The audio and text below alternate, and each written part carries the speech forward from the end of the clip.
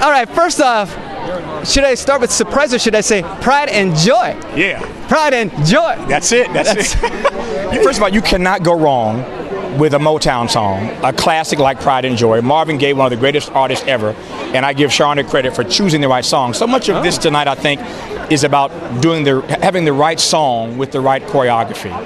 And sometimes those things don't always mesh well together, but she did a wonderful job choreographing this. But the song for me, I grew up on you know this, so I felt so much more relieved. I can tell you this: when they first told us our dance was going to be the foxtrot, I was scared. Really? I was. Foxtrot's a tough dance, holding my frame and all that. I was scared.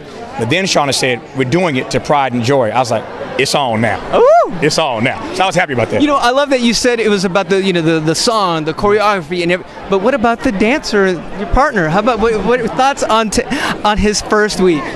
Uh, you know, I couldn't be more proud of him right now. Uh, I already knew what he's capable of through what we've been working towards in the last couple of weeks, uh, but the growth in him in the last three weeks is absolutely phenomenal. My favourite part, though, about tonight is that the rest of America got to see the side of Tavis that I've gotten to know the last three weeks. Absolutely. And uh, he's such a wonderful, wonderful, fun-loving man that likes to have a joke and get down. And I can't wait for everybody to get to know that just a little bit more. You know, and, and I see that in the next few weeks, people are going to get to see your personality. But there's something even more that with, I mean, like I think I don't know if it was Bruno or Len was talking about. If you, once you control it, you have this, these, you have this. Your arms are so long. You've got some. Yeah. So will that come into play as well with his dancing when he ex- accentuates his lines? And Absolutely. Length is always good. And I say to him, use all of your height, use all of your width and your length because that is an asset for us. At the same time, it's difficult as a very tall, long man to, to move your limbs. It can take you longer to get from A to B. So we have to work on, you know, getting them there quickly. And we've already worked on that. You're getting it the quickest way possible. So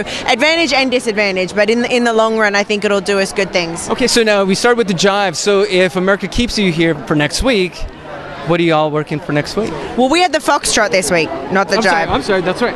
Um, we'll fix that in post. we'll fix that, no problem. Yeah. So we had the, we had the foxtrot this week. Next week we are looking at doing the cha cha. Ooh, and what does that entail for him? Well, Uh, there's a lot of hip action in cha cha, but you know what? Honestly, next week, okay, y'all saw a side of Tavis this week that you didn't know was there. Next week is a whole other side of Tavis. We are taking it back a little bit, and that's all I'm going to say. But it is about to get crazy and it's about to get fun. all right, all right. So the sum of the sum here, we're starting to see some more. Okay, all right. So now, now I do got to ask a fan question before I let you guys go, and this is from DWTS fan forever. Oh, well, there's two. Sharna, when did you find out you were coming back as a pro?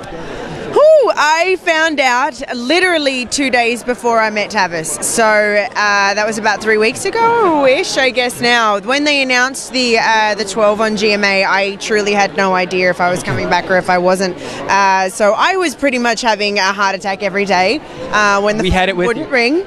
Uh, so, you know, I'm incredibly grateful to be back. This is my home, my family. Obviously, to have this experience with Tavis, uh, I, I'm very grateful. Welcome back to your new to your home, and hello, new residents. So thank I'm you. glad to be here and uh, couldn't be in better hands. All right. So what we do at AfterBuzz on the count of three, we tell our fans buzz you later. So so for is it team?